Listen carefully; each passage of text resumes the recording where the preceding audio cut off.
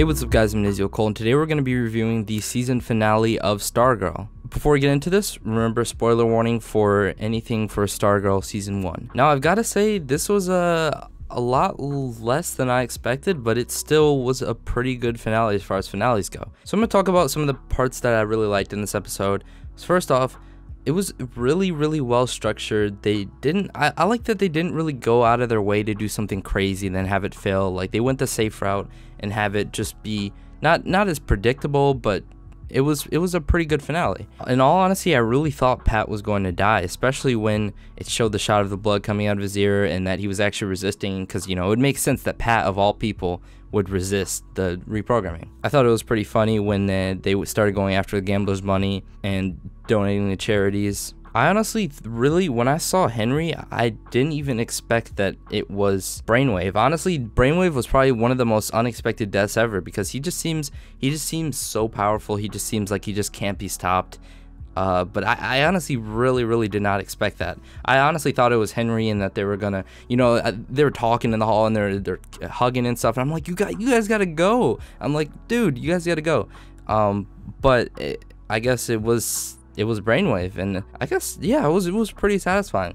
But especially you know when Yolanda was like, "Don't kill, don't kill," um, to Rick, and uh, Rick was actually the one that ended up not killing, and Yolanda was the one that actually killed someone. So yeah, I thought that was a, a pretty funny like or just ironic. The fact that Rick changed his mind at the last second to kill Grundy was uh, pretty interesting. You know, I just feel like you don't really think like he had never really fought Grundy like where he was in the position to kill him. But, but it was pretty interesting seeing how seeing someone in their most vulnerable position changes your opinion on them. And the other thing that I really really liked about this finale was the end. The end was just it was just surprisingly wholesome. I kept waiting for that like cliffhanger for them to be in like those like Dominator stasis dream pods from the um the Dominators crossover or just some like crazy cliffhanger, but there wasn't. And I mean, if you think about it, pretty much every Arrowverse show has had some kind of cliffhanger or just crazy thing happened at the last part of the finale. Uh, spoilers for all the shows I'm about to talk about. Um, if you think about to the Flash, they literally he flew into the black hole and then it was just it just cut. It just cut.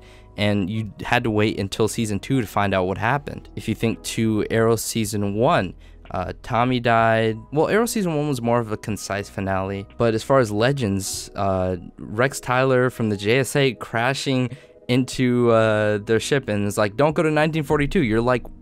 What's gonna happen in 1942? So it just seems kind of weird that it was just surprisingly wholesome. I mean, they did have that one bit at the end where it was like, I'm Sylvester Pemberton, I'm looking for Pat Dugan. He moved out, so that could be interesting to see what happens in season two. But I really like the Christmas scene. I really like how they have they they really spent this season building up that sort of team uh, JSA team. You know, they had the Christmas party, which I thought was pretty cool, like they have on The Flash every year. And it was just really cool seeing them all together, just happy, you know? Um, I, I'm honestly really interested to see what they do for season two. I haven't looked at any of the stuff that any of the production people have said.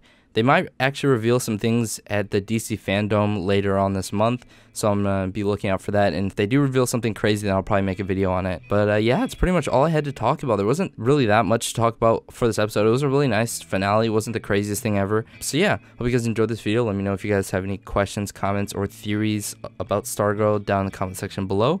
And I'll see you guys later. Peace.